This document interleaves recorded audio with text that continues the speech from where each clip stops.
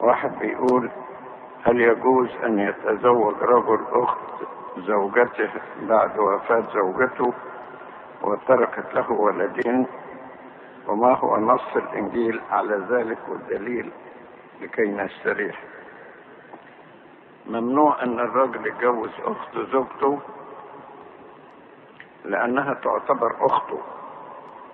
الاتنين لما يبقوا واحد قرايبه قرايبها وقرايبها قرايبه أما إيه نص الإنجيل فموجود هذا المنع.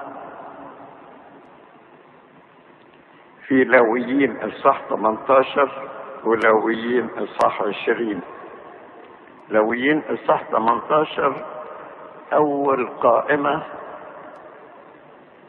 من قوائم الممنوعات في الزواج. ممكن تقروا لويين 18 ولويين 20